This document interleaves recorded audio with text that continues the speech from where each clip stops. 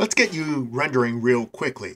Now there's the proper way to render and you'll get into that in another video, which means going to render settings and setting a bunch of things and we'll be back here in a moment. While you're working in scene, you just want to see your render and you want to have the ability to save out your render. Go to Arnold and render. Wait for the pop-up window to show up. Your scene's being rendered. Here's the percentage amount of the scene that has been rendered.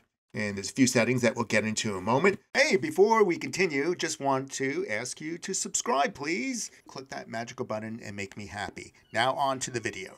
When all the dots are done, that means your scene is finally there. Now, this is real-time preview, so move around in the viewport, live adjust what's happening right here. And it's bi-directional. If you click on this creature right here, you can see it's selected in the viewport click on the building and the building selected. I'm going to switch around the rotation just a little bit, get a little more of our critter in here.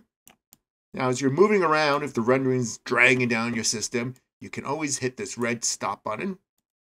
And now you can just freely move around without that live preview happening. When you're ready to start rendering again, all you have to do is click the play button right here.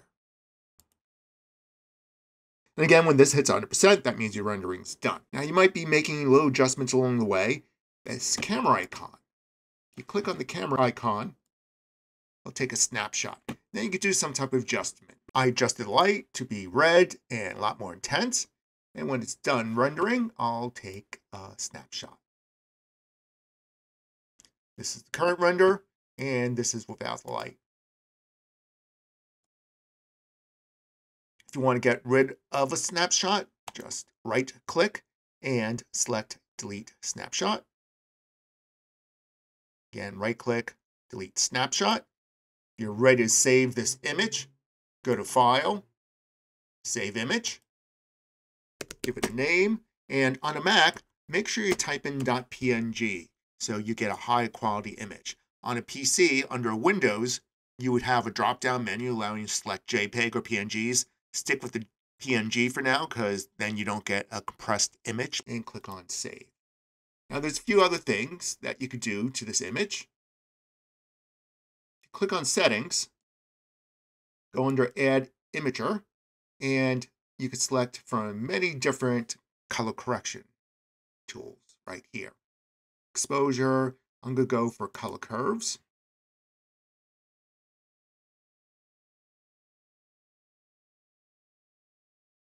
See that just the image like this. Exposure is a simple one to deal with. You want it to be brighter or dimmer. And if you don't like that, just remove it. Back under Imager. Denoise, in case there's a little too many dots hanging out after the image has rendered. I'll re-add color curves to it. And this is separated into RGB separated into RGB, R, and G, and B. So either individually or together, you can brighten, pull down the value. If you want to pull down reds only, use this or pump up reds into the scene. And that way the red glow is leaking out to the front of the scene. Now to adjust the aspect ratio of this image and all the settings, you'll click on render settings and under Common, Right now, the image is 640 by 360. Let's say you want it in a square, 640 by 640, or 1080 by 1080. Enter the information here. This includes the Arnold render information. If you want it to be more high quality, click on adaptive sampling. I don't recommend this when you're just starting out, just a little later on when you want some better quality. Just click enable. It's going to take a little longer to render, but it'll be well worth it and then maybe you need to apply the denoiser just to make it look like a great image in the end. Now I'm going to uncheck that just because of the amount of time it will take to render.